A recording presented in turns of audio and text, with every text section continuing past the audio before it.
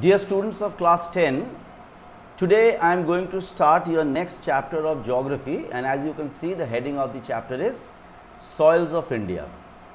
पिछले chapter the last chapter was on the water resources और आज हम लोग स्टार्ट करने वाले हैं द सॉइल्स ऑफ़ इंडिया तो सबसे पहला सवाल है the first question is what do you understand by soil soil का मतलब क्या है? What is the meaning of soil देखो soil is a mixture of different minerals organic matter organic matter का मतलब होता है जो पेड़ झड़े हुए पत्ते, टूटे हुए डाल डेड एनिमल्स इंसेक्ट्स वगैरह जो सॉइल के साथ मिक्स हो जाते हैं। डिफरेंट गैसेस लिक्विड्स और बहुत सारे छोटे छोटे ऑर्गेनिजम्स जो एक साथ मिक्स होकर अर्थ का जो क्रस्ट है, उस क्रस्ट का जो सबसे ऊपर वाला लेयर बनाता है, और जिस लेयर के ऊपर पेड़ पौधे उगते हैं दैट इज़ कॉल्ड सॉइल देखो soil is very very important for us because soil के ऊपर पेड़ पौधे उगते हैं, और उन पेड़ पौधों को एनिमल्स खाते हैं, और जो कार्निवोरस एनिमल्स है, वो पेड़ पौधा खाने वाले एनिमल्स को खाते हैं और हम इंसान खेती बाड़ी करके वो भी खाते हैं और एनिमल्स को भी खाते हैं। तो for plants for for plant life as well as animal life crust का जो ये उप अर्थ का क्रस्ट का जो सबसे ऊपर वाला लेयर है that is soil that is very very important देखो सॉइल के अंदर होता क्या है? पहले होता है मिनरल पार्टिकल्स तो सॉइल के अंदर क्ले मतलब कादा जिसको बोलते हैं, क्ले और सैंड बालू होता है। और ये क्ले और बालू के अंदर silica, iron, magnesium, potassium, calcium जैसा बहुत सारे मिनरल्स सॉइल के अंदर, क्ले और सैंड के अंदर जो मिक्स करके सॉइल बनता है, उसके अंदर होता है। और ये सारे मिनरल्स होता है, तभी सॉइल पे पेड़ पौधे उगते हैं। इसके अलावा सॉयल में ह्यूमस होता है। ह्यूमस मतलब होता है ऑर्गेनिक मैटर ऑर्गेनिक मैटर मतलब पेड़ से जो पत्ते झड़ते हैं, जो पूरा, जो डाल, डाली वाली पेड़ का टूटा फूटा ज़मीन में गिरता है। इसके अलावा वो धीरे धीरे धीरे धीरे ये क्या होता है? ज़मीन के साथ मिक्स हो जाता है। इसके अलावा सॉइल में बैक्टीरिया होता है अर्थ वर्म जैसा इंसेक्ट होता है। ये सारे मिलकर इसको बोलता है ह्यूमस देखो, एक चीज़ याद रखना कि सॉइल कितना फर्टाइल होगा, कितना उपजाऊ होगा कोई सॉइल वो काफ़ी हद तक डिपेंड करता है कि उसके ऊपर ह्यूमस कितना है. सॉइल में अगर ह्यूमस कंटेंट ज़्यादा होगा तो वो सॉइल ज़्यादा उपजाऊ होता है. इसके अलावा देखो प्लांट्स जो है प्लांट्स सॉइल से न्यूट्रेंट तभी ले पाता है जब वो न्यूट्रेंट पानी में या सॉल्यूशन में डिजॉल्व्ड हो, अर्थात वाटर में डिजॉल्व्ड हो, इसीलिए सॉयल में मॉइस्चर होना बहुत ज़्यादा ज़रूरी है। सॉइल अगर सूखा है, देखो घर में भी कोई टब है तुम्हारा, टब में कोई पौधा लगाए हो और वो मिट्टी में पानी नहीं देते हो तो एक दिन क्या होता है मिट्टी का जो मिनरल्स है तो मिट्टी में मानो बहुत ज़्यादा फर्टिलाइजर्स डाल दिया, उसके अंदर तुमने पौधा लगा दिया। अब उसमें तुम पानी नहीं देते हो तो क्या होगा? पौधा एक दिन मर जाएगा। क्यों मर जाएगा? क्योंकि मिट्टी का अंदर जो न्यूट्रिएंट्स है पौधा उस न्यूट्रिएंट्स को तभी ले पाएगा और खाना बना पाएगा जब वो न्यूट्रिएंट्स पानी के साथ डिजॉल्व होता है। पौधा वो पानी को अपने अंदर लेता है और उस पानी के साथ न्यूट्रिएंट्स पौधा के अंदर पहुँचता है।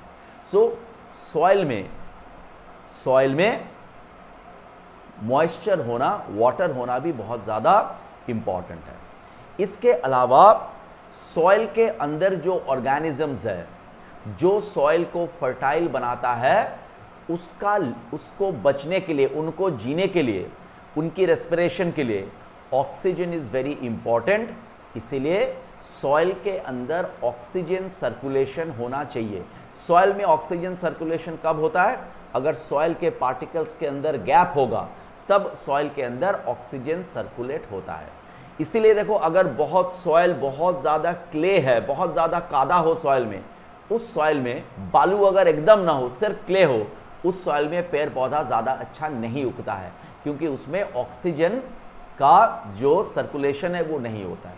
इसीलिए बेस्ट सॉयल होता है लोमी सॉयल मतलब जो सॉयल में बालू और क्ले मिक्स होता है। That is the best kind of soil now see अलग अलग तरह सॉइल को सॉइल का कंटेंट क्या है, इसको हम लोग तीन तरीके से सॉइल का कंटेंट के हिसाब से हम सॉइल को तीन तरीके से बांट सकते हैं। सबसे पहला आता है सैंडी सॉइल देखो सैंडी सॉइल में 60 परसेंट सैंड होता है और 10 परसेंट क्ले होता है। ये सैंडी सॉइल ये काफ़ी लूज होता है और सैंडी सॉइल में सॉइल पार्टिकल्स के बीच में गैप काफ़ी ज़्यादा होता है, इसलिए पानी काफ़ी आसानी से सैंडी सॉइल के अंदर घुस जाता है। अब सैंडी सॉइल में चूँकि सॉइल पार्टिकल्स के अंदर ज़्यादा जगह होता है तो वहाँ का ऑक्सीजन सर्कुलेशन ज़्यादा होता है और पानी अच्छी तरह से अंदर घुसने के वजह से प्लांट का जो रूट्स है, उनको एयर भी ज़्यादा मिलता है और मॉइस्चर भी ज़्यादा मिलता है। ठीक है? लेकिन सैंडी सॉइल खेती बाड़ी के लिए आइडियल खेती बाड़ी के लिए तैयार तभी होता है जब हम उसमें कुछ फर्टिलाइजर्स डालते हैं because in sandy soil all kind of fertilisers necessary for plants are not always found देखो सैंडी सॉइल में फ्रूट्स और वेजिटेबल्स ज़्यादा बेहतर कल्टीवेट होता है। गेहूँ पैडी इनके मुकाबले fruits and vegetables sandy soil में ज़्यादा बेहतर कल्टीवेट किया जाता है। उसके बाद आता है क्ले सॉइल क्ले सॉइल में क्या होता है? उल्टा होता है. 60 परसेंट क्ले होता है. और क्ले सॉइल क्या करता है? मॉइस्चर को बहुत ज़्यादा एब्जॉर्ब करता है, पकड़ के रखता है. और इसीलिए जब क्ले सॉइल भिग जाता है, ये बहुत चिपकीला जैसा बन जाता है. तुम लोग गंगा के किनारे गए हो और गंगा के किनारे जो पानी हो, जो जो मिट्टी होता है, देखना वो मिट्टी कैसे टांग में बड़ा चिपक जाता है. दैट इज़ क्ले सॉइल ठीक है? अब देखो क्ले सॉइल के अंदर जो मिट्टी क्ले सॉयल अपने अंदर एब्जॉर्ब कर लेता है, बहुत ज़्यादा मिट्टी ये अपने अंदर एब्जॉर्ब करके रख सकता है। इसीलिए जब सूखा पड़ता है, तब क्ले सॉयल अपना ये मॉइस्चर को धीरे धीरे त्यागता है। देयरफॉर क्ले सॉयल में जब बारिश नहीं भी होगा, उस वक्त भी क्लेई सॉयल में पेड़ पौधा उग सकता है, क्योंकि क्लेई सॉयल अपने अंदर मॉइस्चर रिटेन करके रखता है। देखो, अगर क्लेई सॉयल के अंदर अगर सॉइल प्योरली क्लेई सॉइल हो, सिर्फ़ क्ले सॉइल अगर हो, उसमें पेड़ पौधा उगना मुश्किल है। क्ले सॉइल के अंदर अगर हम थोड़ा बालू या चौक मिला देंगे तो वो सॉइल ज़्यादा फर्टाइल हो जाएगा। Third category of soil is loamy soil देखो लोमी सॉइल में सैंड और क्ले का मिक्सचर होता है। और सैंड और क्ले का जब सॉइल में सही मिक्सचर होता है, वो सॉइल सबसे ज़्यादा उपजाऊ वो सॉइल सबसे ज़्यादा फर्टाइल होता है। जब लोमी सॉइल में क्ले सॉइल सॉरी सैंड का परसेंटेज थोड़ा ज़्यादा होता है तो उसको सैंडी लोम कहा जाता है। और अगर क्ले का परसेंटेज थोड़ा ज़्यादा होगा, उसको क्लेई लोम कहा जाता है। तो ये लोमी सॉइल जो है, वो गार्डनिंग के लिए, बगीचे में पेड़ पौधा उगाने के लिए और फ़ार्मिंग के लिए स्पेशली गेहूँ राइस इस तरह का फ़सलों का उगाने के लिए लोमी सॉइल बहुत अच्छा है।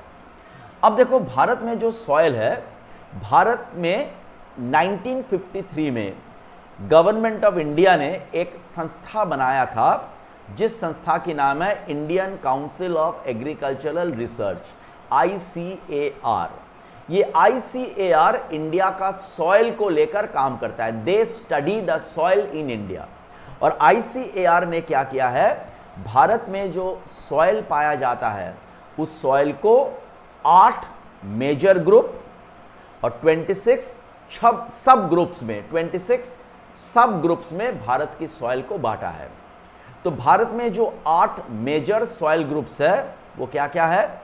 Alluvial soil black soil red soil laterite soil sandy and desert soil marshy and peat soil mountain soil saline और एसिडिक सॉइल लेकिन तुम्हारे सिलेबस में ये सारे सॉइल नहीं है तुम्हारे सिलेबस में you have to read only about six soils alluvial soil black soil red soil laterite soil desert soil and mountain soil तुम्हारे सिलेबस में सिर्फ़ ये छह सॉइल की बारे में ही तुम्हें पढ़ना पड़ेगा। अच्छा now see first we are going to discuss about alluvial soil देखो, भारत में सबसे ज़्यादा प्राप्त किया गया सॉइल भारत में जो सॉयल है, जितने सॉयल है, उसमें सबसे भारत का ज़्यादा एरिया में एल्यूवियल सॉयल मिलता है। कुल मिला के भारत का एरिया का 46 परसेंट एरिया में एल्यूवियल सॉयल मिलता है और टोटल 15 लाख स्क्वायर किलोमीटर ज़मीन भारत की एल्यूवियल सॉइल के अंडर में है। भारत की 15 लाख स्क्वायर किलोमीटर एरिया में एल्यूवियल सॉयल देखने को मिलता है। और एल्यूवियल सॉइल चूँकि सबसे ज़्यादा खेती बाड़ी को सपोर्ट करता है। इसीलिए alluvial soil is very very important for agriculture और इंडिया का जो सबसे ज़्यादा पॉपुलेशन है, इंडिया का पॉपुलेशन का सबसे ज़्यादा हिस्सा भारत की एल्यूवियल सॉइल वाला रीजन के ऊपर ही रहता है। देखो look at the map of India this is the northern plains Punjab, Haryana UP Bihar West Bengal Assam उसके बाद देखो ये कोस्टल एरिया हो गया। ये हो गया महानदी रिवर का डेल्टा, ये उड़ीसा में। फिर ये कोस्टल रीजन, फिर आ जाओ, गोदावरी एंड कृष्णा रिवर का डेल्टा, फिर कावेरी रिवर का डेल्टा। तो ये ईस्टर्न कोस्टल प्लेन और वेस्टर्न कोस्टल प्लेन और गुजरात। ये जो एरिया है, ये भारत की एल्यूवियल प्लेन वाला एरिया है और ये भारत की वो भी रीजन है जिस रीजन में भारत की सबसे ज़्यादा लोग बसते हैं। देखो, ये एल्यूवियल सॉइल जो है this is an example of an ex situ soil what is the meaning of ex situ soil देखो सॉइल बनता कैसे हैं? जो बड़े चट्टान होते हैं, वो चट्टान टूटते टूटते, लाखों लाखों लाखों सालों में टूटते टूटते टूटते टूटते, छोटा होते होते होते होते जब बहुत बारीक या फाइन पार्टिकल्स बन जाता है, तब बनता है सॉइल एक्स सिटू सॉइल दो तरीके के होते हैं। एक एक्स सिटू सॉइल और दूसरा इन situ soil in situ soil मतलब चट्टान जहाँ के हैं। चट्टान टूटते टूटते अगर वहीं पर मिट्टी बना है, उस मिट्टी को कहते हैं। मतलब जो मिट्टी से वो चट्टान जो चट्टान से वो मिट्टी बना है, वो चट्टान जहाँ पे था, उस चट्टान से मिट्टी भी वही बना है। That is in situ soil और अगर चट्टान कहीं और था और चट्टान की टूटी हुई टुकड़ों टुकड़ों को हवा, नदी, ग्लेशियर इत्यादि बहाकर कोई दूसरी जगह पर आकर सॉयल बनाता हो then that is called ex situ soil तो देखो एल्यूवियल सॉयल जो है, ये हिमालय से और सेंट्रल प्लेट्यू रीजन से मतलब ये जो हिमालय है, ये हिमालय रीजन और सेंट्रल प्लेट्यू रीजन इस रीजन के जो नदियाँ है, ये नदियाँ पहाड़ के चट्टानों को तोड़ते तोड़ते तोड़ते तोड़ते जो फाइन एल्यूवियम बना है, उस एल्यूवियम नदियों के साथ बहकर दूसरे जगह पर आकर जमा होके डिपॉजिट होके ये सॉइल बना है। तो एल्यूवियम सॉइल है कहीं पर और वो सॉइल बना कहीं और था। इसीलिए एल्यूवियल सॉइल को हम एक्स सिटू सॉइल हम लोग कहते हैं we call it ex situ soil अच्छा आप देखो एलुवियल सॉइल जो है, वो दो तरीके की है।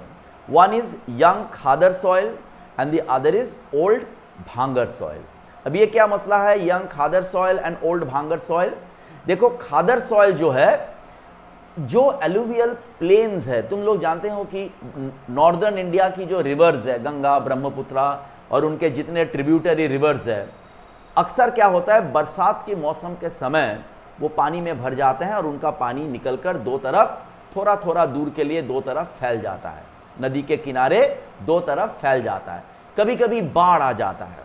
तो ये बाढ़ के दौरान क्या होता है, जो डेढ़ दो महीना बाढ़ का पानी टिका रहता है, तब ये बाढ़ का पानी के अंदर जो एल्यूवियम होता है, वो एल्यूवियम वहाँ पर डिपॉजिट हो जाता है।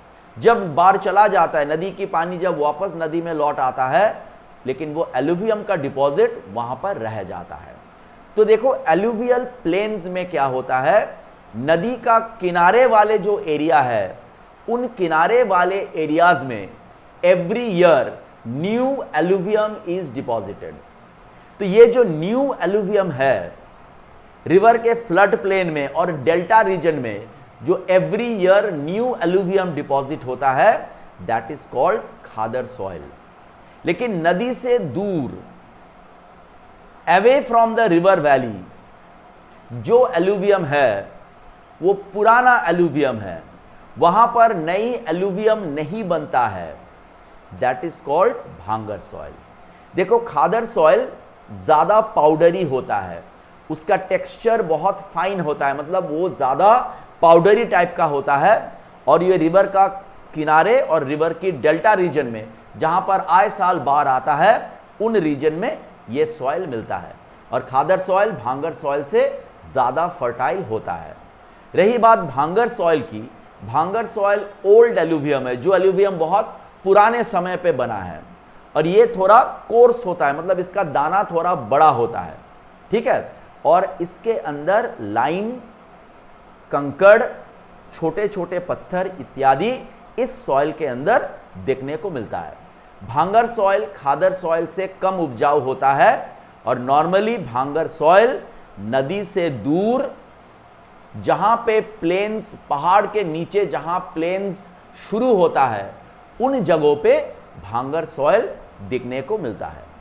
खादर सॉइल का जो कलर है, खादर सॉइल ज़्यादा सैंडी होता है और इसका कलर हल्का ब्राउन होता है, जबकि भांगर सॉइल का कलर ज़्यादा डार्क होता है। Bhangar soil is rather darkish in colour देखो एलुवियल सॉइल जो है, ये लाइट ब्राउन से लेकर dark brown new alluvium light brown होता है डार्क पुराना एलुवियम डार्क ब्राउन होता है।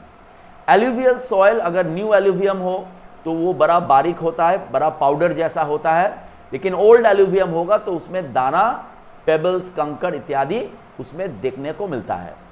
नदी के जो अपर कोर्स है, जहाँ पर नदी पहाड़ से तभी तभी उतरा है, उन जगहों पर एल्यूवियम सॉइल जो है, उनमें दाना ज़्यादा होता है। मिडिल कोर्स में वो मीडियम पाउडरी होता है और लोअर कोर्स में वो बहुत ज़्यादा एलुवियल सॉयल बहुत ज़्यादा पाउडरी पाउडर जैसा हो जाता है।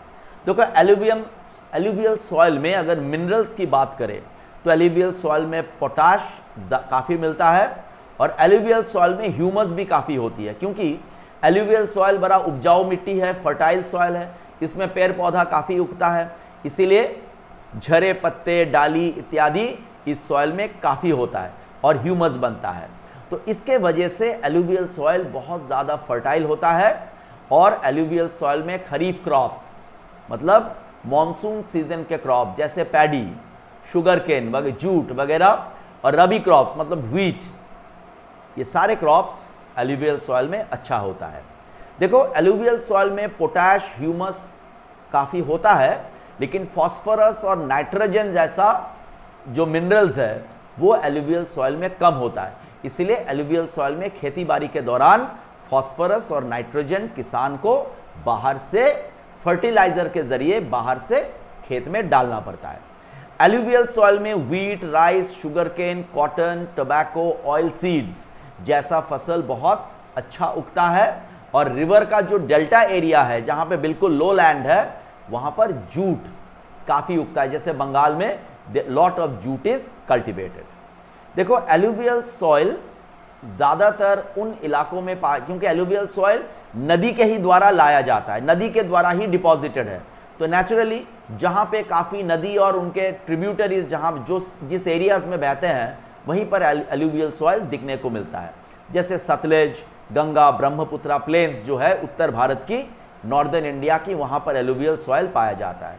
अगर स्टेट्स की बात करें तो पंजाब, हरियाणा, उत्तर प्रदेश, बिहार वेस्ट बंगाल और असम उत्तर भारत की, इन स्टेट्स में we find alluvial soil south India में देखो, जो कोस्टल रीजन है बे ऑफ़ बंगाल और अरेबियन सी का जो कोस्टल रीजन है, जैसे अगर हम ईस्टर्न कोस्ट की बात करें तो ईस्टर्न कोस्ट में महानदी, गोदावरी, कृष्णा, कावेरी का जो डेल्टा है, और वेस्टर्न कोस्ट में नर्मदा, ताप्ती के अलावा और भी छोटे छोटे कुछ नदियाँ हैं, ये नदियाँ जहाँ पर समुद्र में गिरता है, उन रीजन्स में हम एल्यूवियल प्लेन्स देख पाते हैं। तो अगर साउथ इंडिया की बात करें तो Odisha, Andhra Pradesh, Tamil Nadu, Gujarat, Maharashtra Karnataka or Kerala mein, we can find alluvial soil. So this is the first part, the first video on this chapter. I shall continue this chapter in the subsequent videos. Okay, thank you so much.